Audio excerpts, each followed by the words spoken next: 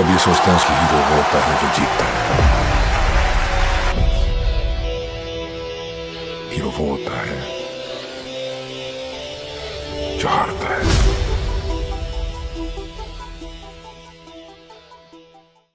मिलेगा नया ट्रेंड देखने को।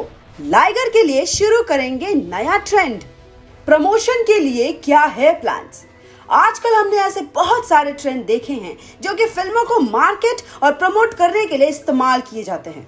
सोशल मीडिया एक ऐसा हथियार हो चुका है, आज के समय में, जो किसी भी फ़िल्म को बहुत आसानी से बहुत बड़ी ऑडियंस के सामने पहुँचा सकता है।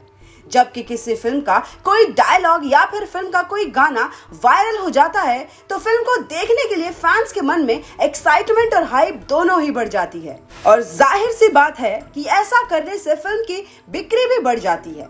किसी भी फ़िल्म को बहुत अच्छी तरह से प्रमोट करने के लिए ऐसे ट्रेंड को फॉलो किया जाता है और फ़िल्म की कास्ट अपने और भी को स्टार्स और फ़िल्म इंडस्ट्री की हस्तियों को बोलते हैं इस ट्रेंड का हिस्सा बनने के लिए। हाल ही में हमने देखा था लाइगर फ़िल्म की कास्ट विजय देवरकोंडा और अनन्या पांडे को एक ट्रेंड का हिस्सा बनते हुए।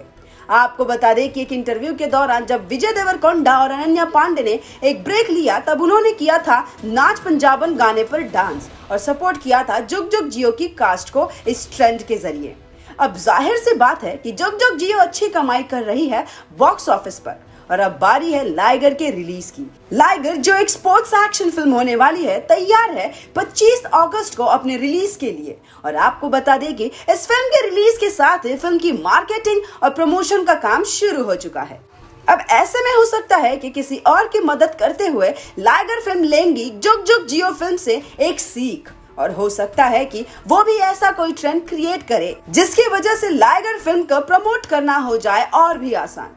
आपको बता दें कि जहाँ विजय देवरकोंडा और अनन्या पांडे दोनों ही काफ़ी मशहूर है तो ऐसे में अगर वो किसी भी ट्रेंड का हिस्सा बनते हैं तो वो बहुत जल्द ही बहुत ज़्यादा बड़े लेवल पर फैल सकता है और फ़िल्म के लिए एक काफ़ी फ़ायदे का सौदा भी बन सकता है।